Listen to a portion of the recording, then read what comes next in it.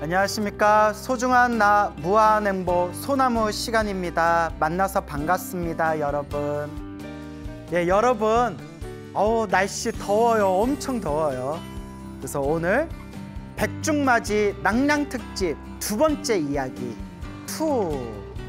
오늘의 이야기는 엘리베이터 영가를 천도하다. 엘리베이터 귀신 이야기 들려드리도록 하겠습니다.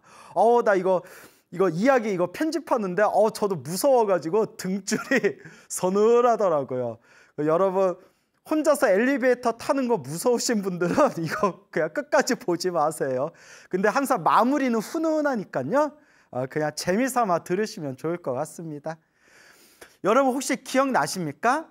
우리 소나무 시즌 3 어, 몇 달 전에 했던 소나무 시즌 3 중에 150회 150회 그때 이야기가 저승 가는 버스에서 탈출한 어느 젊은 청년의 이야기 들려드렸거든요. 아마 이렇게 여러분 너튜브에서 검색해 보면 나올 거예요. 소나무 시즌 3 150회 저승 가는 버스에서 탈출한 어느 젊은 청년의 이야기 들려드렸는데요. 그 거사님을 제가 구미에서 만났어요. 구미에서 만났는데 아이고 제가 그분인 줄 모르고 그분인 줄 모르고 나중에 알았어요. 그분이 편지를 주셨는데 편지 보고 나서 제가 저승 가는 버스 어, 그 이야기 주인공 당사자입니다. 아 그 진작 얘기해 주셨으면 같이 이렇게 어 봤을 때 스님 제가 그때 그 이야기 주인공이에요라고 얘기해 주셨으면 아 제가 더 반갑고 또 몇 마디 좀 대화 좀 더 했을 텐데 얘기를 했는데 제가 못 알아들었을 수도 있고요.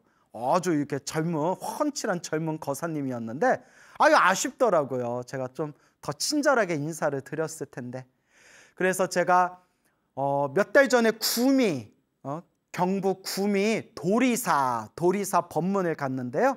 그 도리사에서 어, 이제 거사님을 만났고 그분이 이렇게 편지를 주셨어요. 이렇게 먹을 거랑 이렇게 맛있는 거랑 거기에 이제 편지를 꽂아가지고 주셨는데 편지 보고 나서 아유 그 150회 주인공 저승 가는 버스에서 탈출하신 우리 주인공이셨구나. 그 나중에 알았어요. 근데 이분께서 또 재미난 이야기, 당신이 또 경험한 귀신 만난 이야기 또 이제 편지로 또 재미나게 저한테 전해 주셔가지고 오늘 여러분들에게 내용이 재밌어서 오늘 여러분들에게 이 편지를 읽어드리도록 하겠습니다. 근데 내용이 좀 길어가지고 제가 조금 내용을 편집을 했어요. 그래서 내용이 너무 길어서 그거 다 읽어드리기가 좀 애매해가지고 제가 조금 이야기 몇 개를 이렇게 이제 편집을 했으니까 그렇게 감안하시고 어, 오늘 이야기 재미나게 한번 잘 들어보시기 바랍니다. 혹시 이 이야기 듣고 계신 분들은 절대 엘리베이터에서 듣지 마시고요. 운전하면서 듣지 마시고요. 불 끄고 어? 듣지 마시고 예, 불 환하게 켜놓고 나무아미탑을 관세음보살 염불하면서 어, 이 귀신 이야기 백중맞이 낭량 특집 두 번째 이야기 여러분들 그냥 어, 편안한 마음으로 한번 경청해 보시기 바랍니다. 존경하는 저의 스승님 광호 스님 안녕하세요. 구미 도리사에 오신다는 말을 듣고 얼마나 기뻤는지 모릅니다. 스승님 존경합니다. 오늘 배우니 너무 날씬하시고 너무 잘생기셨어요. 따봉이라고 보내주셨네요. 사람들이 그래요. 저 실물 보면 훨씬 낫다고. 그래서 제가 우스갯소리로 아 이거 카메라 내 부셔버리고 싶다고 이렇게 우스갯소리로 농담으로 얘기하는데 예 이제 어디 법문가고 법회 가면 우리 신도분들께서 어머 스님 실물이 정말 훨씬 나요 이러시더라고요. 예 그래서 뭐 그러려니 합니다. 자 계속 읽어볼게요. 엘리베이터 영가를 천도하다라는 제목으로 광우 스님께 편지를 또 적게 되었습니다.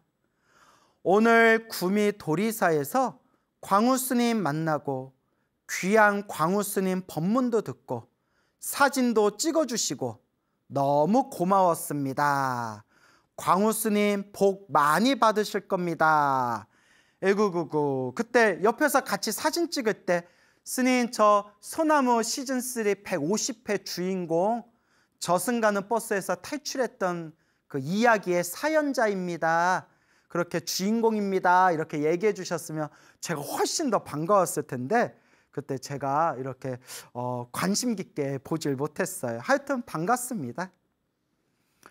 광우 스님, 소나무 시즌 3 150회 저승 버스를 탈출하고의 사연을 제가 보내드렸는데요. 그때 내용을 잠깐 더 추가해서 말씀드리면 제가 죽을 고비가 저승버스 외에도 세 번이 더 있었는데요. 어이구구구. 첫 번째는 8살 때 부산 광안리 해수욕장에서 제가 호기심에 물 깊은 곳으로 계속 걸어갔는데 수심이 낮다 보니 계속 걸어 들어갔는데 오른쪽 발을 내디디니 어느 순간 발이 땅에 닿질 않았습니다. 아이고. 목까지 물이 차 있었는데 오른발이 땅에 닿지 않더라고요. 한 발만 더 갔으면 저는 아마 죽지 않았을까 생각합니다. 아우, 지금같이 우리 여름철에 우리 수영 많이 하는 그런 이런 계절에는 정말 물 조심해야 돼요. 물 조심. 자나깨나 물 조심. 구명조끼도 안 입고 바닷가 쪽으로 계속 걸어갔거든요. 수심이 낮다고 생각해서요. 아차 싶어서 바로 뒤돌아서서 무사히 빠져나왔습니다. 아이고, 다행이다. 그거 우리 물 조심해야 됩니다. 두 번째는 10살 때인가 동네 형들이랑 김해에서 물살이 엄청 센 시냇가가 있었는데요. 폭이 3m 정도였습니다. 구명조끼 없이 상류에서 물에 풍덩 뛰어들었는데 물살이 너무 강해서 허우적거리다가 하류로 빠지기 전에 형들이 손을 잡아줘서 빠져나왔습니다. 동네 형들과 계속 위험한 물놀이를 했는데 하마터면 형들 손을 못 잡고 하류로 흘러 들어갈 뻔 했거든요. 지금 생각하면 정말 위험한 순간이었습니다. 와, 정말 조심해야 돼요. 사고는 순간입니다. 어우, 정말 조심해야 됩니다. 세 번째는 제가 고등학교를 부산 전자공고를 다녔는데요. 고3 때 구미에 S전자로 취직을 하였습니다. 김해 구산동 버스 정류장에서 부산 전자공고를 가려면 아침 일찍 최소 6시에는 버스를 타야 1시간 30분이 걸려 도착해서 학교에 등교할 수가 있었습니다. 어느 날 학교 등교를 위해 구산동 버스 정류장에서 버스를 기다리는데 그 당시에 서로 좋은 자리를 차지하기 위해서 기다리는 사람들이 먼저 버스를 타려고 했었거든요. 어느 날 버스를 기다렸는데 제가 너무 길 앞에 나와 있어서 버스가 앞으로 다가왔을 때 위험한 순간에 순간 누가 뒤에서 제 책가방을 당겨서 제 목이 제 목이 뒤로 확 당겨지는 느낌으로 몸이 꺾이며 뒤로 몸이 빠져나왔고 그 순간에 버스가 제 앞을 쓱 스쳐 지나쳐 갔습니다. 그러니까 하마터면 버스에 치일 뻔했는데 누가 뒤에서 책가방, 가방을 확 당겨가지고 몸이 뒤로 빠져나가서 그렇게 버스가 자기 앞을 싹 이렇게 스쳐 지나갔다. 하마터면 정말 위험할 뻔한 상황이었다. 이제 이런 말씀이죠. 너무 순식간이라 조금만 늦었으면 큰일 날 뻔했습니다. 그런데 제가 고개를 뒤로 돌려서 누가 당겼는지 확인을 했는데 제 주변에는 사람이 아무도 없었거든요. 그때 정말 신기했습니다. 와, 소름. 오, 대박. 그 버스에 칠 뻔했는데 누가 자기를 확 땡겨가지고 몸이 뒤로 빠져나가서 버스를 가까스로 칠 뻔한 위험한 상황을 피했는데 어, 누가 내 책가방을 뒤에서 당겼지? 하고 뒤돌아보니까 어, 주변에 사람이 없었다는 거예요. 이야, 진짜? 그 어떻게든 살 사람은 살아요. 어우, 다행이다. 다행이다. 그러니까 우리 사고 조심해야 돼요, 여러분. 자, 계속 읽어 볼게요. 제가 초등학교 시절 외할머니가 저에게 무서울 때 나무 아미탑을 관세음보살 연부를 하면 반드시 부처님이 보호해 주신다고 말씀을 해 주신 기억이 있습니다. 아이고 외할머니가 독실한 불자분이셨나 봐요. 외할머니가 초등학교였던 자기 초등학생이었던 자기 시절에 외할머니께서 어, 초등학생이었던 자기한테 말씀해 주시기를 무서울 때 나무 아미탑을 관세음보살 연부를 하면 반드시 부처님이 보호해 주신다라고 말씀을 해 주신 기억이 있다. 맞습니다, 여러분. 사실 우리가 지금 당장 5분 앞에 무슨 일이 생길지 몰라요. 정말 무슨 일이 생길지 몰라요. 한 치 앞도 알 수가 없다. 그래서 제가 늘 말씀드린 게 염불해라. 늘 염불해라. 일상생활 속에서 늘 염불이 습관처럼 염불해라. 희한한 게 염불하고 염불하면 정말 위험한 상황 속에서 보호받는 가피의 힘이 있어요. 혹 사고를 당해도 크게 받을 걸 작게 당해요. 정말 묘한 힘이 있습니다. 그러니까 여러분 늘 염불하는 습관을 들이세요. 우리가 소나무에서 제가 입이 아프도록 여러분들 귀가 아프도록 말씀드렸지 않습니까? 늘, 늘 염불해라. 염불은 습관이다. 여러분, 아주 중요한 겁니다. 그리고 브라질 출장에서 저승 가는 버스에 탔다가 살아 돌아오는 꿈을 꾼 뒤에 나중에 어머니께 자세히 말씀을 드렸습니다. 어머니의 첫마디가 절에서는 절대로 꽁돈을 받지 않는구나. 절에서는 절대로 공돈을 받지 않는구나. 감탄하셨습니다. 어머니가 말씀하시기를 어머니가 자주 다니시는 절에 가셔서 부처님께 아들이 무사히 출장 잘 다녀올 수 있게 보살펴 달라. 고 기도를 올리셨다고 하셨습니다. 절에 연등도 다시고 불전함에 보시도 하시면서 무사히 출장 잘 다녀올 수 있게 간절하게 정성스럽게 기도를 올리셨다고 전해 들었습니다. 겉봐요. 이게 다 원인 없는 결과가 없어요. 그때 우리 소나무 시즌 3 150회에서 이 젊은 청년이 그때 꿈에서 저승 가는 버스 타고 하마터면 정말 저승 고갯길 넘어갈 뻔할 때 그때 무사히 그 꿈에서 깨어가지고 정말 하마터면 저체온으로 어, 목숨에 큰 위험이 닥쳤을 때 정말 가까스로 어, 이 몸의 생명을 그렇게 지켜냈잖아요. 그러니까 어머니가 우리 아들 멀리 해외로 출장 가는데 부처님 우리 아들 좀 잘 보살펴 주십시오. 간절하게 정성스럽게 어머니가 기도하셨다. 그러니까 이게 다 부모님의 간절한 기도 속에서 자손들이 다 이 공덕을 받는 거예요. 이 원인 없는 결과가 없습니다. 행복도 불행도 원인 없이 행복과 불행이란 결과가 생기는 게 아니에요. 그러니까 여러분 항상 우리가 좋은 인연을 지어야 됩니다. 연불하고 복을 짓고 선업을 짓고 공덕을 닦아야 합니다, 여러분. 깨서 읽어볼게요. 부처님과의 인연이 있고 어머니의 간절한 정성스러운 기도로 제가 저승버스에서 살아 돌아올 수 있었다고 생각하고 있습니다.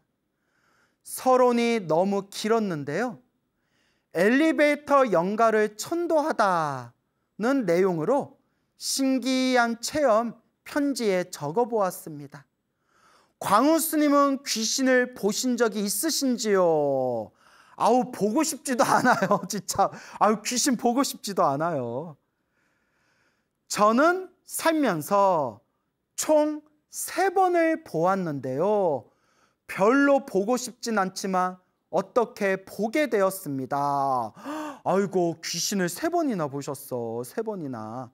근데 이거는 그냥 제 생각인데 우리 거사님이 보내주신 편지를 보면서 느낀 건데요. 다 그런 건 아니에요. 그런데 이런 속설이 있어요. 뭐 불교 경전에 나오는 말씀은 아니고 그냥 우리 민간에 떠도는 속설에 죽어야 할 사람이 죽지 않고 뭐 죽음 직전까지 죽을 고비를 넘기면 귀신을 많이 보게 된다라는 속설이 있어요. 혹시 그 얘기 들어보셨나요? 죽음의 고비에서 살아 돌아온 사람들이 영감이라고 하죠. 영감, 영적인 감감, 감각. 그래서 죽을 고비에서 살아 돌아온 사람들이 영감이 발달해가지고 영적인 감각이 발달해서 그렇게 남들이 보지 못하는 것을 좀 특별히 더 보는 그런 어, 능력이 생긴다라는 말 그대로 속설이 있습니다. 속설. 그래서 그냥 우스개로 우리 거사님이 죽을 고비를 세 번이나 넘겼잖아요. 그래서 이렇게 귀신을 세 번이나 보신 게 아닌가 그렇게 한번 어, 우스개로 농담으로 생각해 봅니다. 자, 계속 읽어보겠습니다. 어, 이거 무섭더라고요, 이거. 처음 귀신을 본 거는 자, 지금 읽어드린 거는 운전하고 계시는 분, 특히 밤에 운전하고 계시는 분 지금 듣지 마세요. 나중에 낮에 들으세요, 여러분. 어, 이거 나 무섭더라고요, 여러분. 처음 귀신을 본 거는 26살에 중고차를 첫 구매하고 구미에서 김해로 차를 끌고 내려갔는데 김해에 삼랑진 IC로 내려서 김해 방향으로 가다 보면 공장지대가 나옵니다. 김해 들어가기 전에 공장지대가 있는데 양복 2차선 도로인데요. 김해 방향 1차선 도로로 가고 있는데 그때 시간이 밤 10시쯤이었던 것 같습니다. 밤 10시.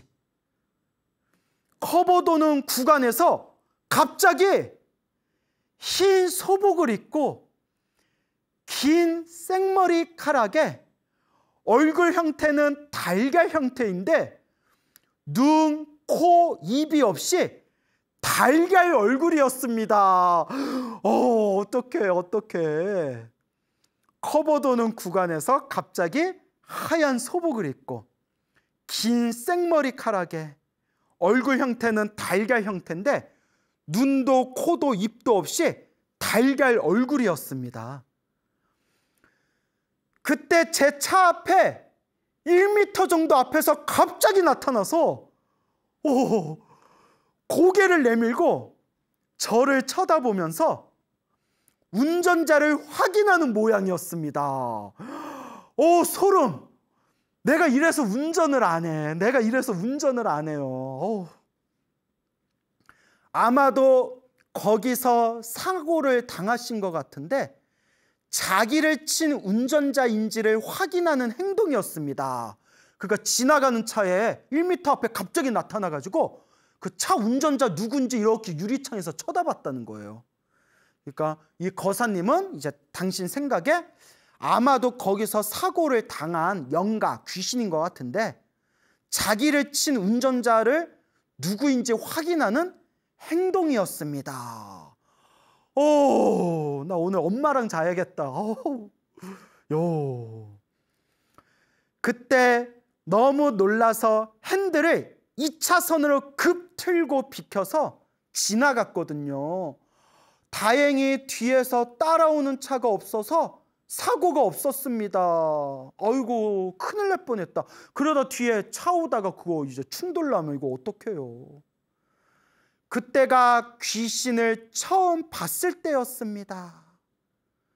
그리고 연불의 힘을 느꼈던 적이 있는데요.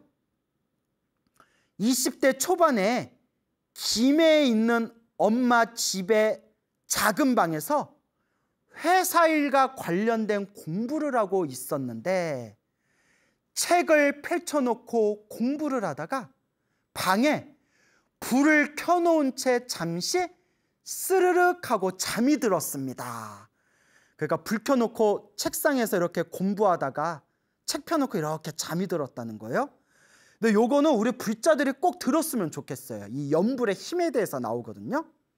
싸라락 잠들었는데 얼마쯤 시간이 지나서 스슥 스스슥 스슥 스스슥 글씨 쓰는 소리가 들렸습니다. 슥슥 글씨 쓰는 소리가 들렸습니다. 꿈이 아닌 실제로 들렸거든요. 그리고 몸이 안 움직이더라고요. 아, 이게 가위구나 하고 생각이 들더라고요. 가위 눌린 거야. 가위 눌린 거야. 아, 가위. 그때 처음으로 가위를 경험했었습니다. 너무 겁이 나서 어떻게 하지 하다가 딱 생각난 게 그래 외할머니가 가르쳐 준 연부를 해보자. 그 앞에 편지에서 앞에 내용에 외할머니가 자기 초등학생이었을 때 무서울 때 나무 아미탑을 관세음보살 외워라 외할머니가 가르쳐 주셨잖아요. 그래 외할머니가 가르쳐 준 연부를 해보자 해서 마음속으로 나무 아미탑을 관세음보살 나무 아미탑을 관세음보살 나무 아미탑을 관세음보살. 세 번을 연부를 했더니 거짓말처럼 도둑이 놀라서 도망가는 것처럼 순식간에 몸이 풀려서 가위에서 풀려났습니다. 우와! 그때 아 연불의 힘이 뭔지는 모르지만 우리가 모르는 신비한 힘이 있구나 하고 처음 느꼈습니다. 그리고 신기한 건 그 뒤로는 가위를 한 번도 눌린 적이 없었습니다. 아마도 불보살님이 보호해 주셔서 그런 것 같습니다. 와, 나무아미탑을 관세음보살, 지장보살. 그 여러분들도 귀신 무서워할 필요 없어요. 괜히 무서운 마음이 들거나 혹은 뭐 헛것을 받거나 뭐 귀신 같은 거 보면 너, 너 귀신? 나무아미타불! 관세음보살! 하고 외치면 돼요. 무서울 필요 없습니다. 운전, 밤에 운전하는데 막 무서우면 거기 어, 차 안에서 뭐 나무아미타불 연불이나 관세음보살이나 지장보살 연불이나 천수경이나 능엄주나 금강경 같은 거 크게 틀어놓으면 아무 걱정하실 필요 없어요.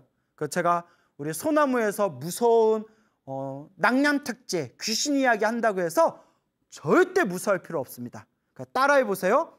귀신이 나타났다. 귀신 나타나면 너 귀신? 나 불자야. 나 부처님 제자야. 나무아미타불 관세음보살 외치면 돼요. 아시겠죠? 그러니까 나중에 귀신 만나면 한번 해보세요. 그래도 안 보는 게 제일 좋죠. 자, 깨서 읽어보겠습니다. 그리고 마지막이 바로 엘리베이터 영가를 목격한 것이었습니다. 결혼하고 2011년도에 새로 이사를 왔는데 이사 온 지 약 11년 후인 2022년도에 있었던 일입니다. 그거 몇 년 안 됐네요. 2022년도에 있었던 일이니까. 아파트 지하 2층 엘리베이터에서 영가를 목격하였습니다. 오, 여러분 이제 밤에 엘리베이터 이제 못 탄다 이제. 예? 못 탄다. 무서워서 어쩌나. 무서울 때 나무아미탑을 관세음보살, 지장보살, 나무아미탑을 부르시면 됩니다, 여러분. 엘리베이터 연가를 목격하기 전에 이상한 조짐이 먼저 있었는데요. 연가를 목격하기 몇 달 전쯤에 밤 11시 이후로 지하 2층에서 엘리베이터를 타고 혼자 올라가면 지하 1층에서 멈춰서 문이 열리는데 엘리베이터 앞에 기다리는 사람은 보이질 않고 문을 닫으려고 버튼을 누르면 삐삐 삐삐 소리가 나는 겁니다. 오. 문이 닫히질 않는 겁니다. 30초, 40초 정도 문이 계속 안 닫히다가 겨우 닫히더라고요. 근데 삐삐 삐삐 소리 나는 경우는 제가 알기로는 엘리베이터 바깥쪽에서 버튼을 누르고 엘리베이터 안쪽에서 버튼을 서로 같이 누르면 삐삐 삐삐 소리 나는 걸로 알고 있습니다. 근데 엘리베이터 문 열렸을 때 아무도 없었대요. 엘리베이터 바깥에서 버튼을 누른 사람은 과연 누굴까요? 어우, 어우, 소름. 지하 1층엔 아무도 없었거든요. 이런 현상이 너무 빈번하게 있었습니다. 지금 생각해도 섬뜩합니다. 또 하루는 지인들과 술 한잔하고 대리 기사님이 차를 아파트 지하 2층 주차장에 주차를 하고 혼자 2층에서 엘리베이터를 타고 올라와서 아파트 집 1층에서 엘리베이터를 다시 탔는데요. 지하 주차장과 아파트 엘리베이터가 분리되어 있는 구조입니다. 저희 집이 10층이라 10층을 눌렀는데 그때 4층, 6층, 8층 버튼에도 동시에 불이 들어왔었습니다. 오! 10층 눌렀는데 엘리베이터에서 혼자서 10층 눌렀는데 갑자기 4층, 6층, 8층에 동시에 불이 들어왔대요. 와, 무섭다. 그때 깜짝 놀랐거든요. 뭐지? 하면서요. 근데 신기한 건 불 들어온 4층, 6층, 8층은 서지 않고 10층에만 엘리베이터가 멈춰섰습니다. 4층, 6층, 8층에 버튼이 눌리면 4층에서도 열리고 6층에서도 열리고 8층에서도 열려야 되잖아요. 근데 버튼은 눌렸는데 10층, 10층에서만 엘리베이터가 딱 멈췄대요. 털이 곤두서는 것처럼 긴장이 바짝 되었고요. 너무 놀라서 빨리 집으로 들어갔습니다. 오. 그 다음 날 와이프한테 얘기를 들으니 엘리베이터가 고장났다고 들었습니다. 멀쩡하던 게 갑자기 고장나는 것도 이상하고요. 그런 이상 현상이 있었는데 어느 날이었습니다. 2022년 11월에 지인들과 술 한잔하고 대리 기사님 도움으로 집 아파트 지하 주차장 2층에 주차를 하고 기사님은 먼저 들어가시고 저 혼자 지하 2층에서 엘리베이터를 타고 버튼을 누르고 문이 닫혔는데요. 그때 시간이 밤 11시쯤이었습니다. 2022년 11월 달 밤 11시쯤. 이야. 엘리베이터가 올라가는데 엘리베이터가 올라가는데 갑자기 웬 젊은 여성분이 서 있길래 너무 놀래서 으악 하고 저도 모르게 소리를 질렀습니다. 엘리베이터 올라갔는데 웬 젊은 여성이 갑자기 딱 서 있더라는 거예요. 엘리베이터가 성인 4명이 타며 꽉 차는 공간 정도인데요. 그 여성분이 엘리베이터 중간쯤에 딱 서 계시고 엘리베이터 중간에 딱 서 있더래요. 저는 엘리베이터 오른쪽 뒤에 기대고 있었습니다. 아니, 엘리베이터 성인 4명이 타고 있는데 여자가 혼자서 가운데 딱 서 있으면 어떡해요?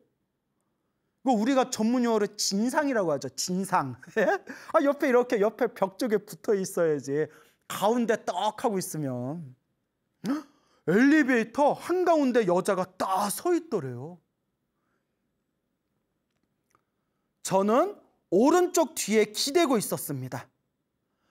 처음에는 너무 깜짝 놀라서 소리 지르고 당황했으나 침착하게 행동하자는 생각이 들어서 다시 정신을 차리고 보니 예전에 70, 80년대 옷차림인 것 같은데 위도 쓴 빨간색 정장 자켓에 검정색 치마를 입고 검정색 구두에 긴 생머리인데 약 170cm 키에 머리부터 발끝까지 거의 발목, 복숭아뼈까지 머리부터 발끝까지 머리카락이 길게 있었습니다.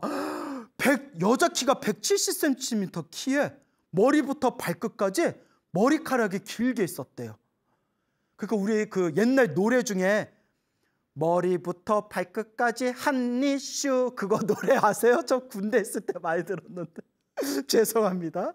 어 무서워. 엘리베이터 닫힌 문에 얼굴이 비춰져서 얼굴이 보였는데요. 30대 중반 정도로 보이는 미모의 얼굴이었습니다. 근데 보통 우리가 귀신은 거울에 안 비춘다고 하잖아요. 네. 그런데 엘리베이터 닫힌 눈에 그 여자 얼굴이 딱 비춰졌대요. 30대 중반 정도로 보이는 미모의 얼굴이었습니다. 예뻤대요. 예뻤어. 그 번호 따야 돼, 번호. 아. 그분이 똑바로 앞만 쳐다보고 계시는데 제가 깜짝 놀라서 악 하고 놀라서 소리쳤을 때에는 앞만 보시다가 오른쪽으로 15도 고개만 잠깐 돌려서 눈빛으로 저를 쳐다보는 거였어요. 그 여러분, 그 정상적인 여자라면 그 엘리베이터 안에 남자가 으악 하고 비명 지르면 뭔가 반응을 해야 되잖아요. 어머 왜 왜 그러세요? 어머 어머 어머 왜 그래요? 뭐 이래야 되는데 가만히 앞만 보다가 비명을 지르니까 오른쪽으로 고개를 45도로 자기를 이렇게 쳐다봤다는 거예요. 와, 어, 그나마 예뻤으니까 다행이지. 무섭게 생겼으면 어우 막 그냥 쫄, 졸도한다 졸도해. 자, 읽어볼게요. 보통 옆에 사람이 놀라면 그 사람도 같이 놀라거나 고개를 돌려서 쳐다보는데 놀라는 행동도 없고 가만히 앞만 바라보고 있는 게 이상하더라고요. 그 당시에는 너무 당황해서 연불 생각이 나지 않아서 에이 그럴 때 연불했어야죠. 근데 맞아요. 너무 놀라면 연불할 생각도 안 나요. 그러니까 항상 연불이 습관이 돼야 돼요. 연불은 습관이다. 그 당시에는 너무 당황해서 연불 생각이 나지 않아서 엘리베이터가 열리자마자 죄송합니다 라며 세 번 말씀드리고 엘리베이터에서 내렸고요. 뒤돌아보지 않고 바로 집으로 올라왔습니다. 오. 아무리 생각해도 이상해서 곰곰이 생각해 보니 긴 생머리카락이 발목까지 길게 늘어진 게 사람이 아닌 것 같아서 그 뒤로 그 엘리베이터를 탈 때마다 야, 우리 같은 그 엘리베이터 어떻게 또 타겠어요? 근데 그 뒤로 그 엘리베이터를 탈 때마다 나무아미탑을 관세음보살 연부를 계속해주고 저와 인연 있는 영가분들이 모두 좋은 곳에 가시길 바랍니다. 극락세계 왕생하소서라고 기도해 드렸어요. 어우, 참 잘했습니다. 완전 정답입니다.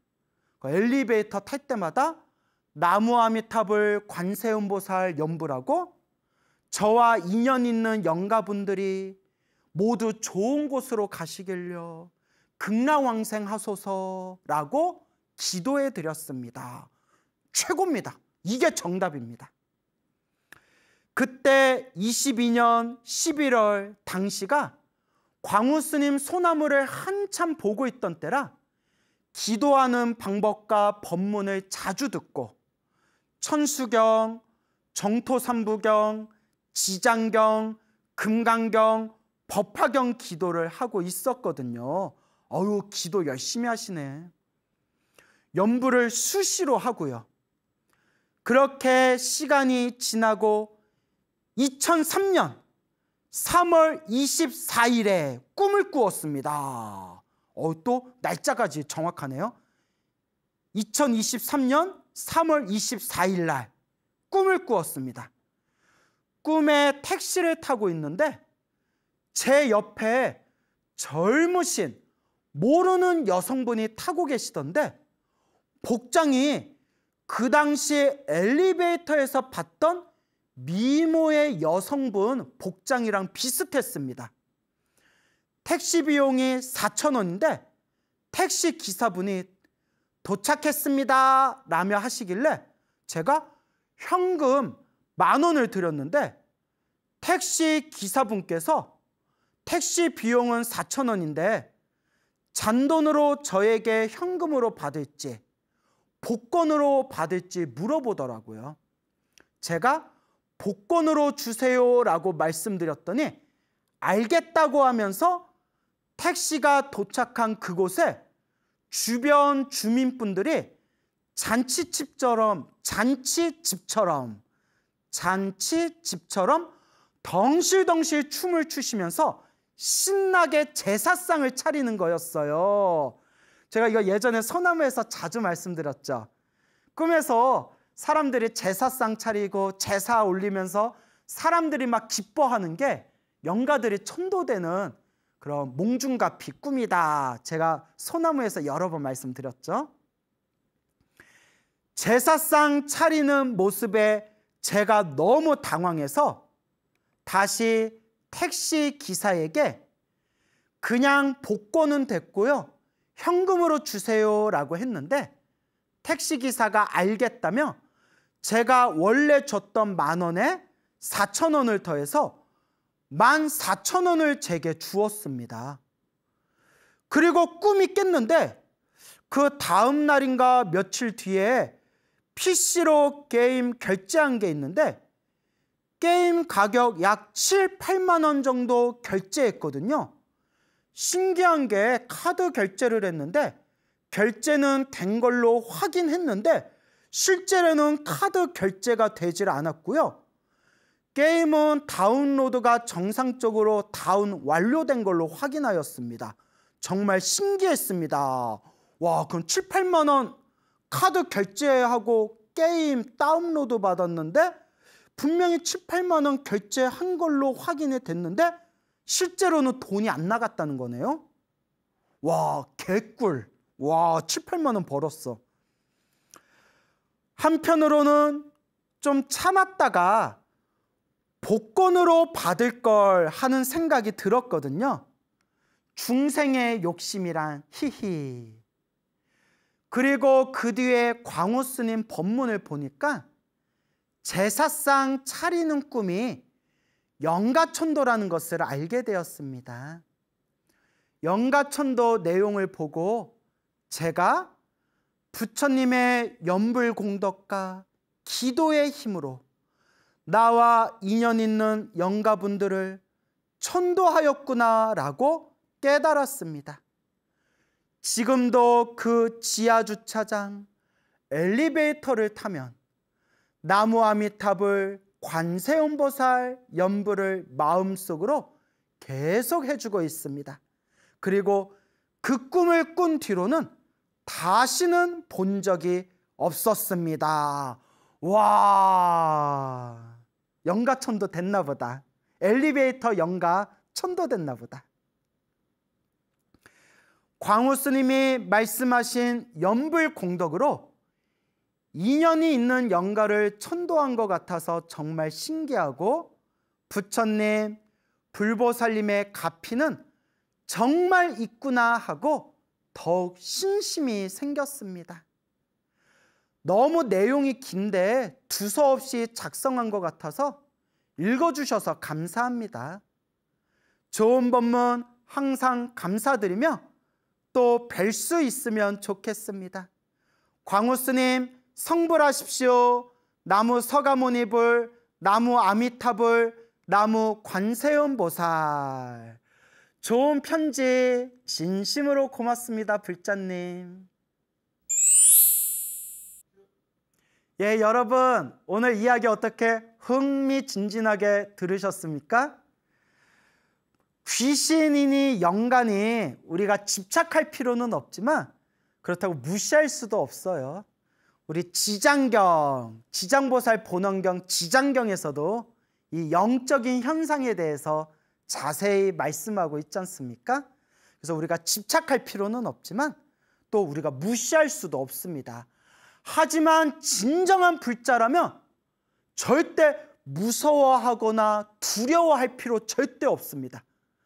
분명히 부처님께서 경전에서 부처님께서 분명히 증명하셨습니다. 염불해라.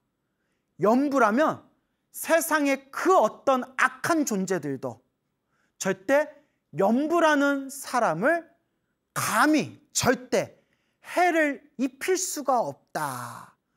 염불하는 불자는 반드시 불보살님이 보호해 주신다. 두려워하지 말고 걱정하지 말아라. 염불해라. 라고 부처님께서 분명히 증명하셨습니다. 그러니까 여러분 두려워하지 마시고 무서워하지 마시고 너무 여러분 네, 마음으로 그러한 영적인 것들에 대해서 너무 마음으로 집착할 필요가 없습니다. 염불하고 기도하고 공덕을 닦으시기 바랍니다. 부처님의 가피가 항상 우리와 함께 찬란하게 광명을 비추고 계십니다. 여러분, 여러분 행복해지고 싶습니까? 행복한 삶을 창조하고 싶습니까? 복을 지으십시오. 선업을 지으십시오. 공덕을 닦으십시오. 복과 선업과 공덕의 힘이 여러분들을 진정한 행복의 길로 이끌어 줄 것입니다. 여러분, 성불하세요.